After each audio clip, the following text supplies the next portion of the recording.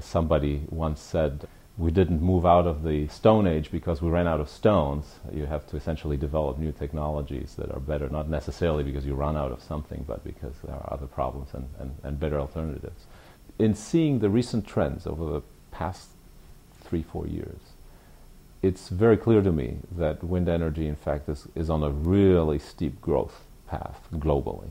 So last year, in uh, collaboration with a colleague and a postdoc, Raul Cal, we thought up a, a, a, very nice research project to study the interactions between large amounts of wind turbines and turbulent wind that flows over the Earth's surface.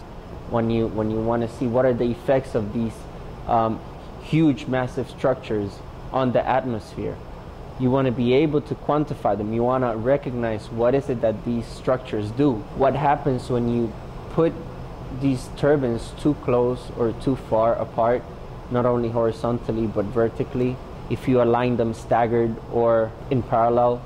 So all of these are different effects that we want to be able to comprehend and quantify rather than just going out there and building these massive structures implementing them and not knowing what's really going to happen. The modern wind turbine is, in fact, the largest rotating turbo machinery ever built. The way they, they work is the wind blows on them, and they're essentially a inverted propeller. The kinetic energy in the wind generates a torque on the blade, which makes it turn, and then that is connected to a, an electric generator. One of the convenient or wonderful things of fluid dynamics is something called similarity, which means you can, under some conditions, you can do tests at smaller scales compared to the real thing.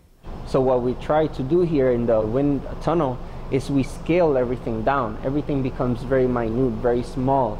The models that we have here are 18 centimeters. In real life, they can go up to 100 meters, 150 meters high the experiment that uh, we are uh, about to conduct essentially generates uh, a wind in the wind tunnel. Then we feed that airflow through an active grid.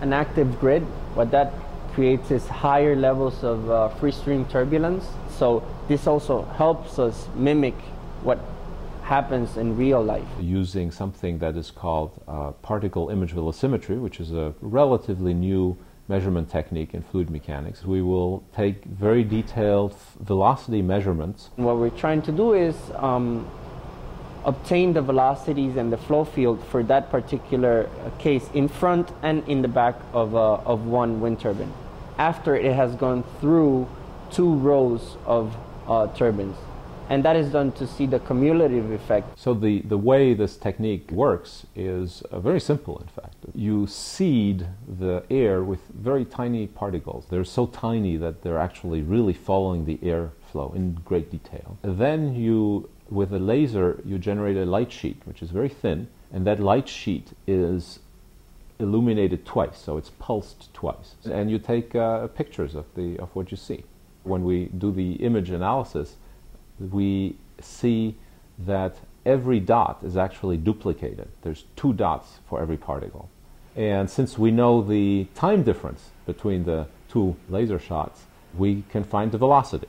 So we get a snapshot, an instantaneous snapshot of the air velocity at that particular point. Having these vectors, having these vector maps, allows us to actually calculate and evaluate how much flow of kinetic energy is going from one place to another place. When you go out into, into the real life, into real flows, it's much more complex. So you cannot account for everything that is happening all at once. So here, at least, we, we start to understand um, control parameters that, that we can tweak. As it is always with research, we don't quite know what exactly we will find. We don't know how exactly we will analyze the data after finding the preliminary things that we, we tend to uh, go fairly open-minded into subjects like this and, and let the phenomenon guide us and, and, and, and see what happens.